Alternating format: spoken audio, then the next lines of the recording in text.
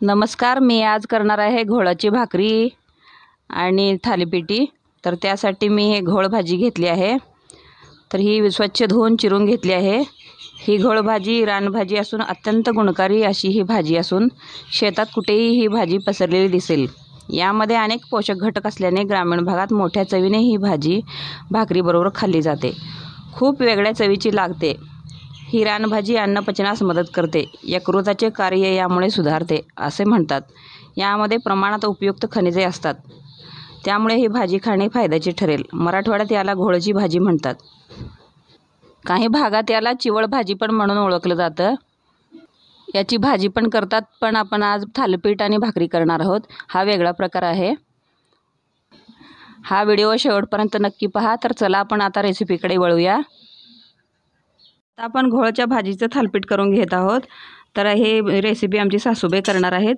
तर ही अर्धी घोळ भाजी आणि अर्धीची भाकरी करायचं आहे. तर अर्धी भाजी घालून त्याला तेल टाकून थोडं भाजून घ्यायचं आहे कढईमध्ये. तर गॅसवरती कढई ठेवली आहे तर आता त्याला भाजून घेत आहेत. आता हे सगळं भाजून घ्यायचं आहे.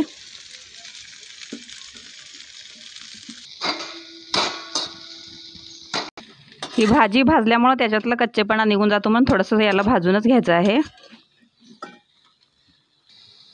छान लागते आजी हा पौष्टिक राहते आहे चांगली राहते. आहे ही भाजी पौष्टिक राहते आहे चांगलं राहते पोटात शांत राहते. घोड्याची भाजी. थालपीठ पण आणि भाकरी पण करणार तुझी हो. थालपीठ बी भाकरी बी.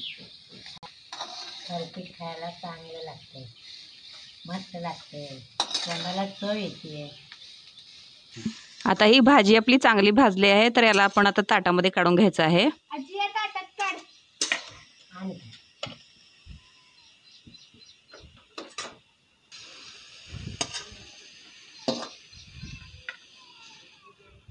केवढी मोठी वाटत होती आजी आता किती छान झाली. ती भाजल्यामुळे त्याचा खूप छान वास येतो आहे. सात आठ मिरच्या पण थोडेसे भाजून घ्यायचे आहेत. थोडंसं तेल टाकून. आता चा आठ पाकळ्या लसूण पण टाकून भाजून घ्यायचं आहे.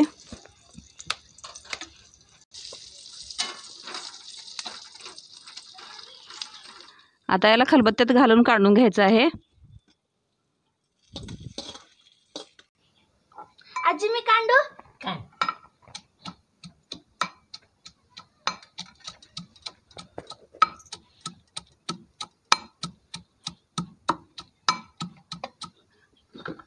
थोडं मीठ घाल.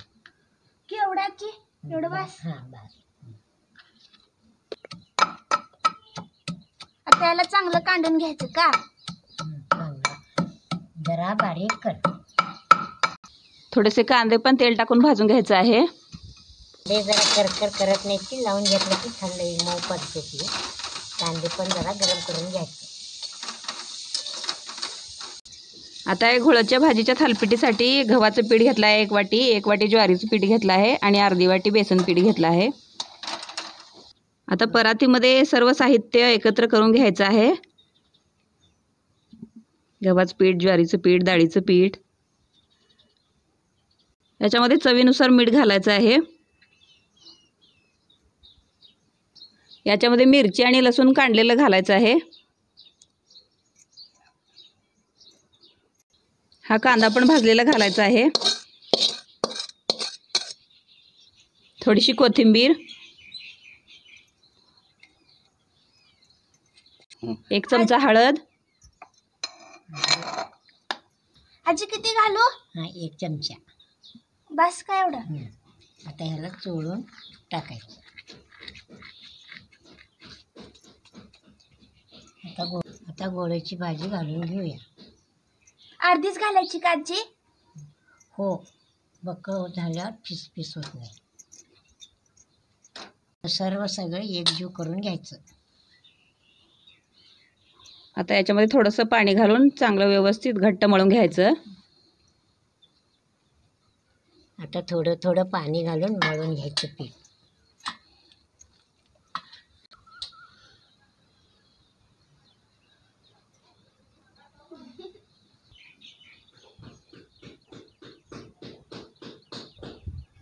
आता व्यवस्थित पीठ आपलं घट्ट मळून झालेलं आहे तर गॅसवरती तवा ठेवला आहे.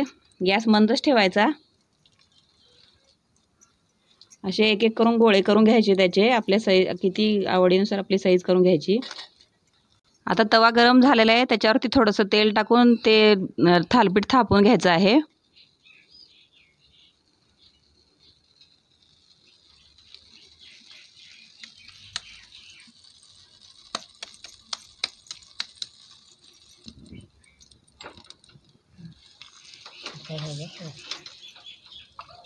थोडंसं पाणी लाकून लावून थोडं थोडं थापून घ्यायचं आहे.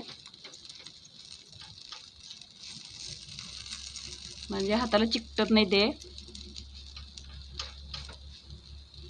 याच्यावरती ताट झाकून थोडंसं वाफवून घ्यायचं आहे दोन मिनिट.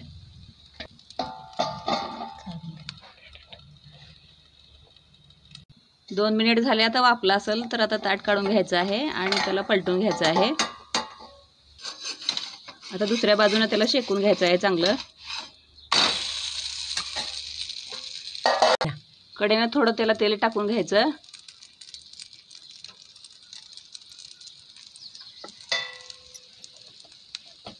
आता आपलं थालीपीठ तयार झालं आहे तर अशा पद्धतीनं सर्व थालीपीठ आम्ही करून घेत आहोत.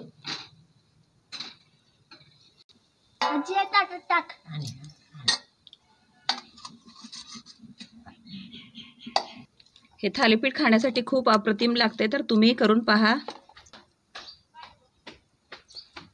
वर थोडंसं लोणी टाकून मुलांना खायला द्या खूप छान लागेल. हो आजी हम्म. हवे ना थंड झाल्यावर खायचं. हम्म, आजी किती भारी झाले ग. भारी लागले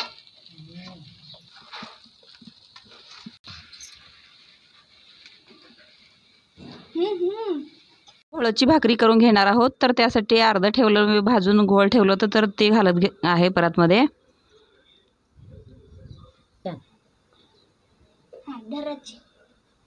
याच्यामध्ये एक वाटी ज्वारीचं पीठ घालून घ्यायचं आहे. तर तुम्ही भाजूच्या अंदाज अंदाजानुसार तुम्ही पीठ कमी जास्त करू शकता.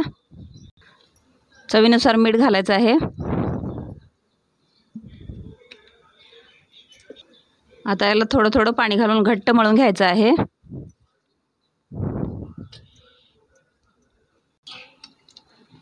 गॅसवरती कढई गरमच सॉरी गॅसवरती तवा गरम करायला ठेवला आहे.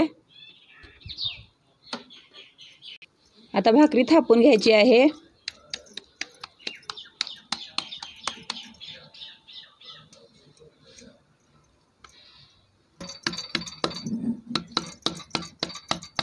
पातळ किंवा जाड तुमच्या आवडीनुसार तुम्ही थापू शकता.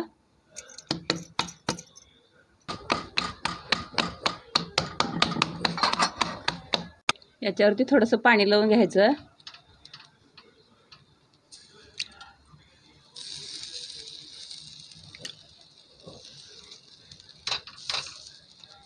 आता दुसऱ्या बाजूने याला पलटून चांगलं भाजून घ्यायचं आहे.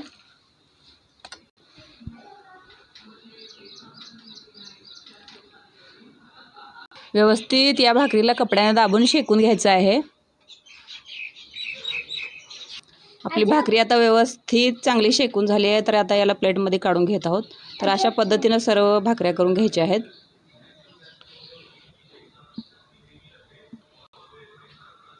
अशी भाकरी आपली तयार झाली आहे तर याच्यावरती लोणच्या लोणच्याची फोड आणि थोडंसं मिरचीचं लोणचं घेऊन खाल्ला तर खूप छान लागेल. आणि भाकरी नुसती खाल्ली तर तरी पण खूप छान लागते. तर अशा पद्धतीनं तुम्ही भाकरी करून मुलांना खायला द्या खूप आवडेल. आज आपण थालीपीठ आणि भाकरीची रेसिपी बघितली तर हा व्हिडिओ आवडला असेल तर लाईक करा सबस्क्राईब करा आणि शेअर करा. धन्यवाद!